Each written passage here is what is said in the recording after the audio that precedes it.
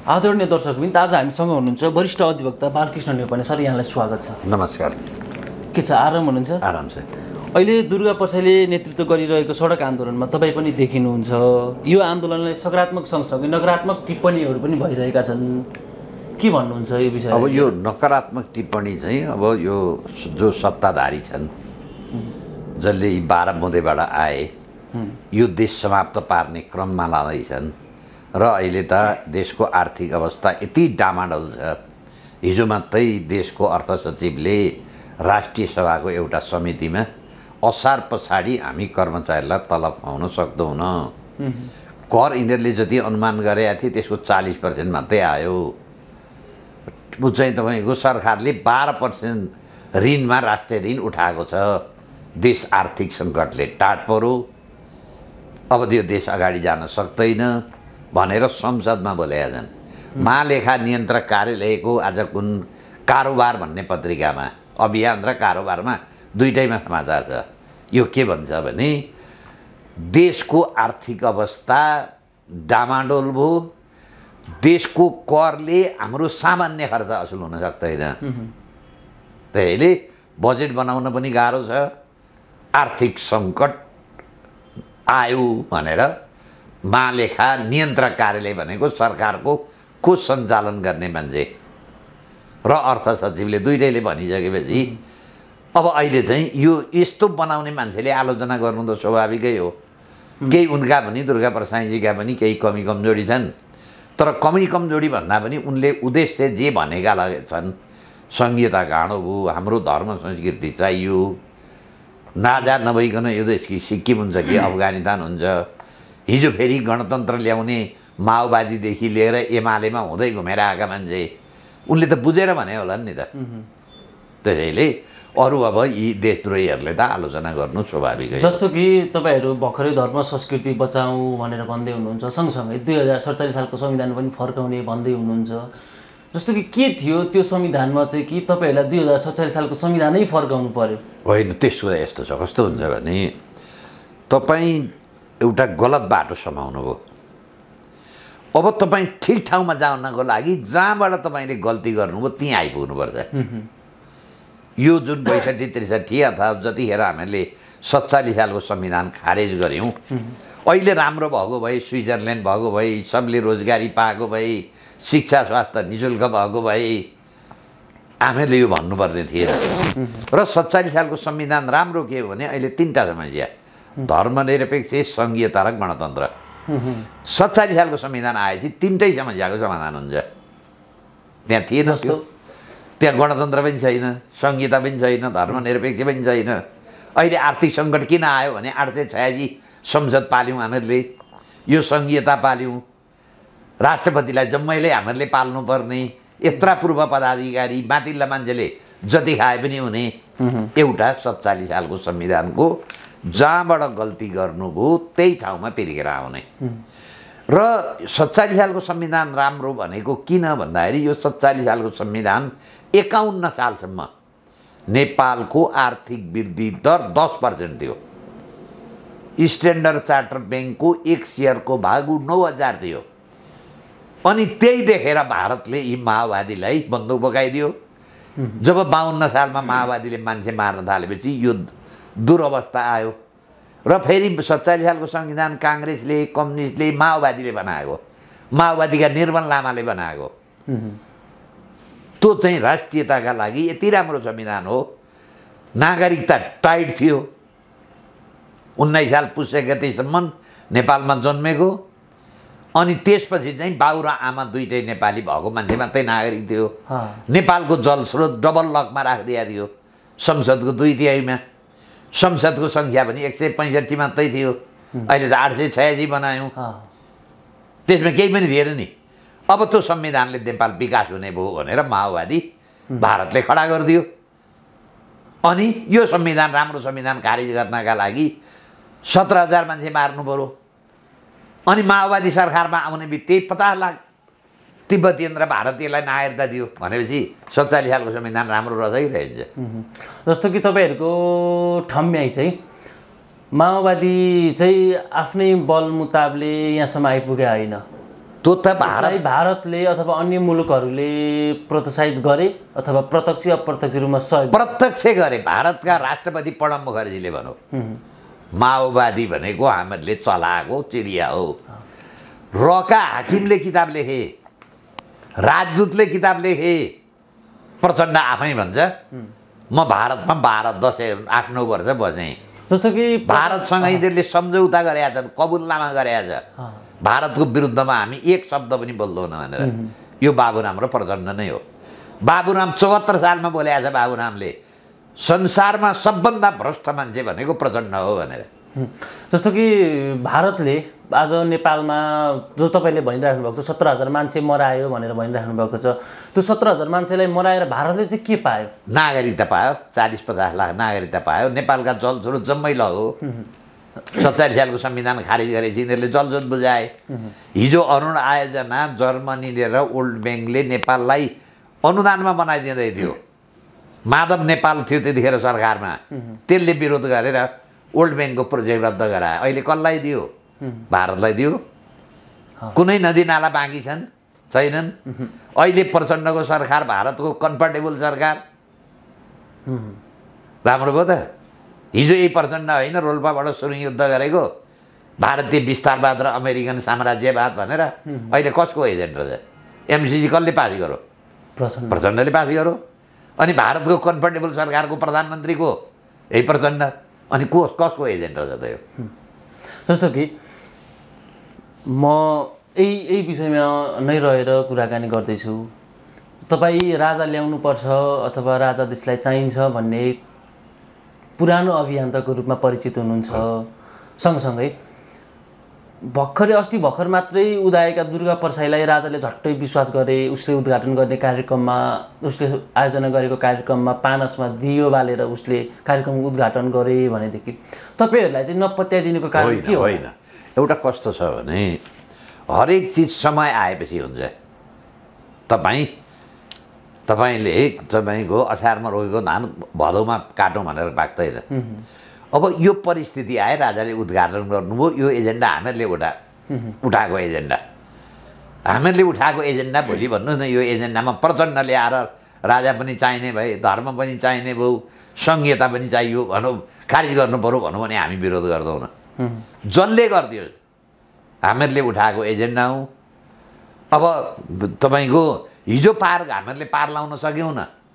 अब उहाँले अहिले राजालाई कन्भिन्स गर्नुभयो। उहाँलाई लागि धन्यवाद।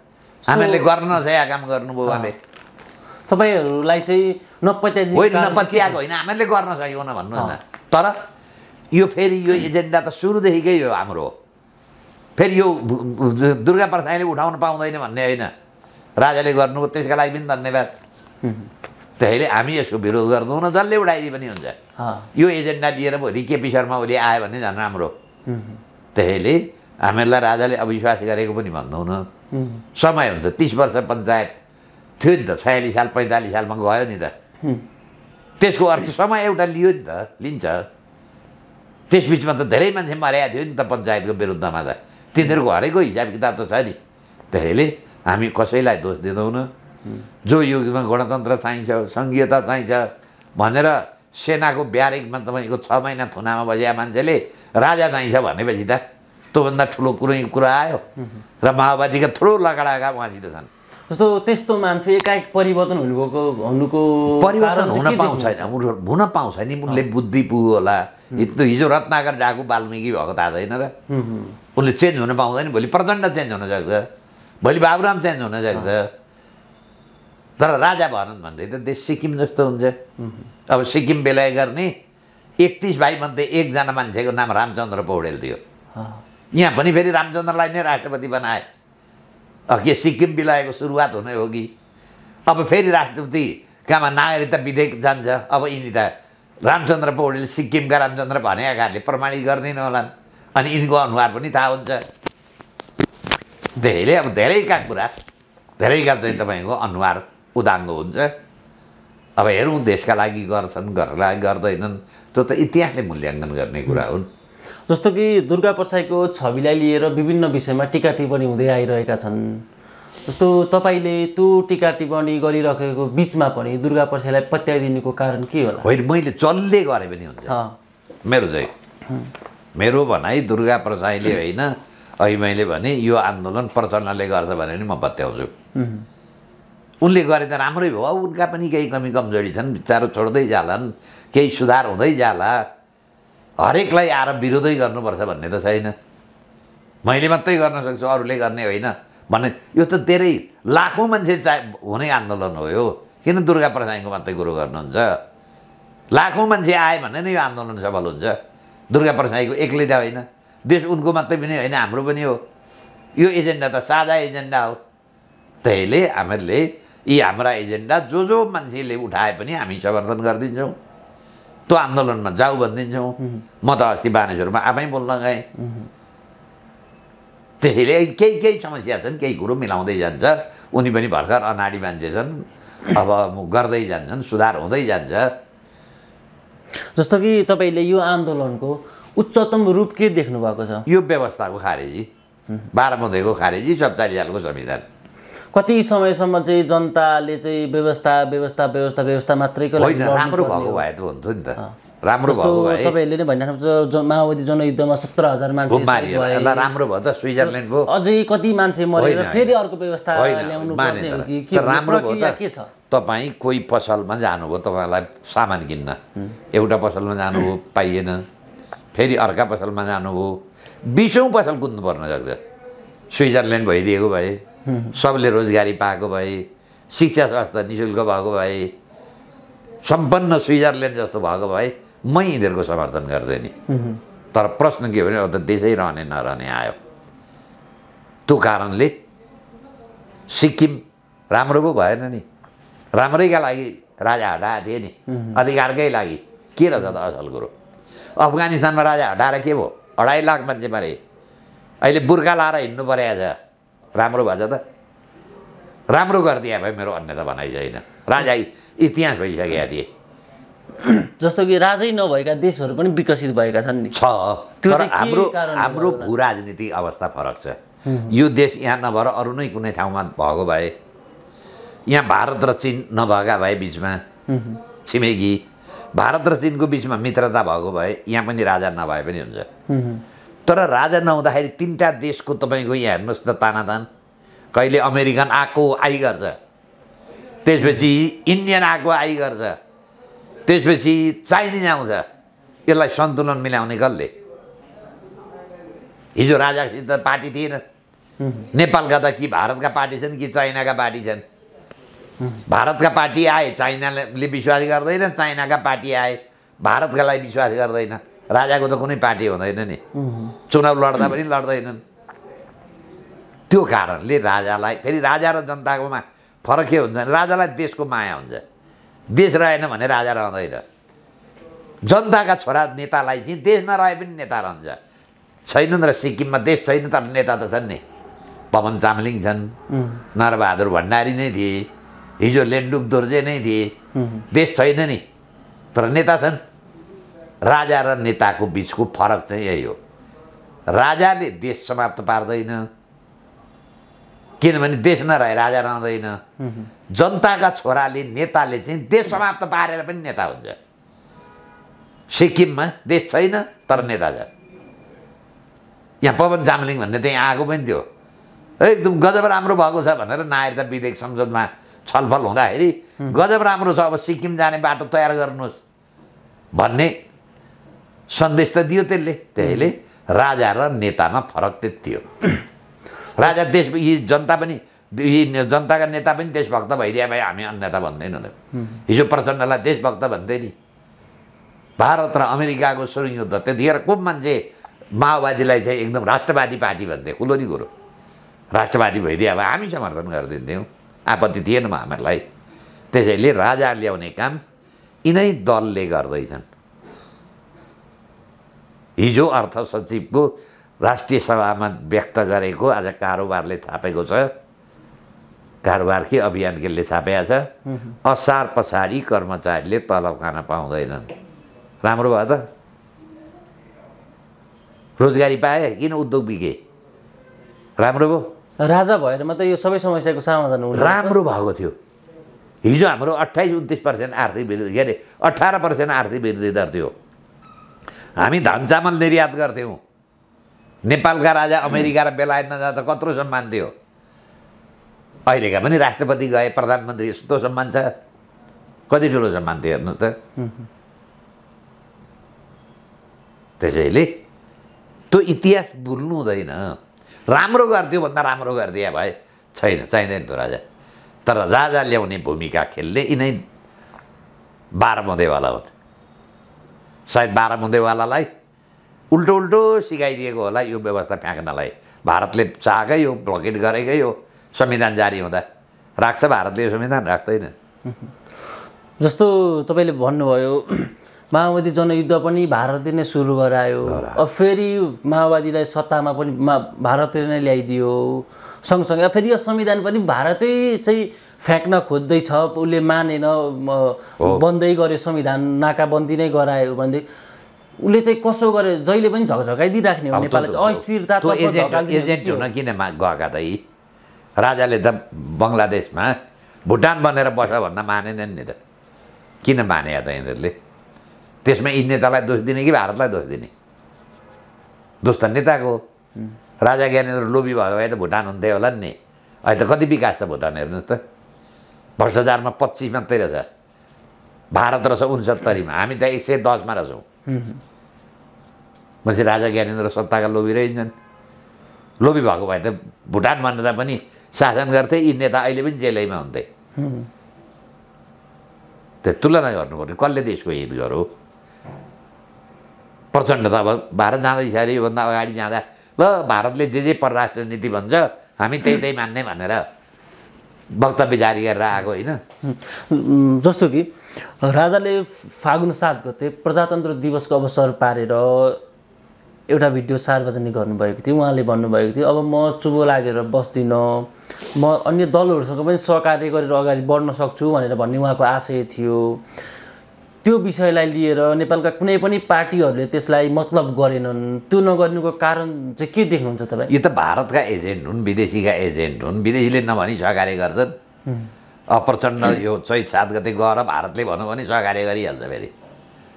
राजालाई त स्वाभाविक हो आफ्ना पुर्खाले आर्जन गरेको देश छँदा खाँदाको देश जान आँट। हो म चुप लाएर बस्दिनँ भन्नेको त्यही अर्थ होला।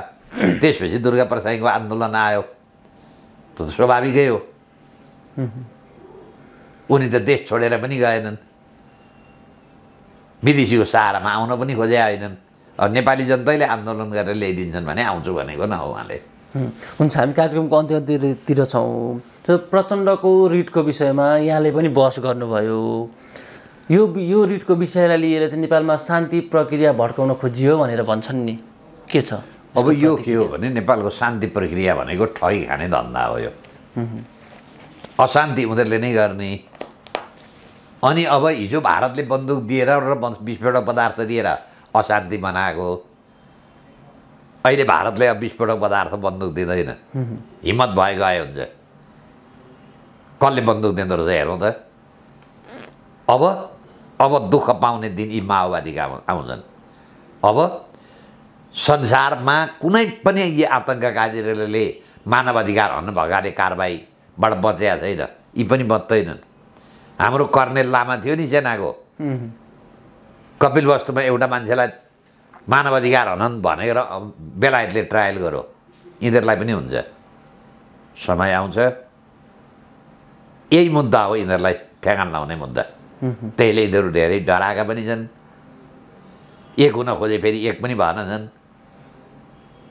र तर द्वन्द्व पीडित नेपाली जनताले यिनीहरूलाई दबाब दिनुपर्छ आन्दोलनमा आउनुपर्छ आन्दोलन बाहेक कुनै विकल्पै छैन आन्दोलनै हो जम्मै रोगको औषधि जस्तो कि तपाईँहरूलाई के आरोप लाग्दै आएको छ भनेदेखि केही समय यता के आरोप लाग्छ भनेदेखि तपाईँहरूले यो रिट हालिदिएर चाहिँ पूर्व छरपष्ट भएका माओवादीहरूलाई एक एक एक बनाइदिनु भयो एकजुट भएर अब यिनीहरूले फरक तरिकाले कार्यक्रम गर्न सक्छन् है भनेर भन्ने एक हुँदै भएनन् हिजो थियो नि एक हुने भन्ने।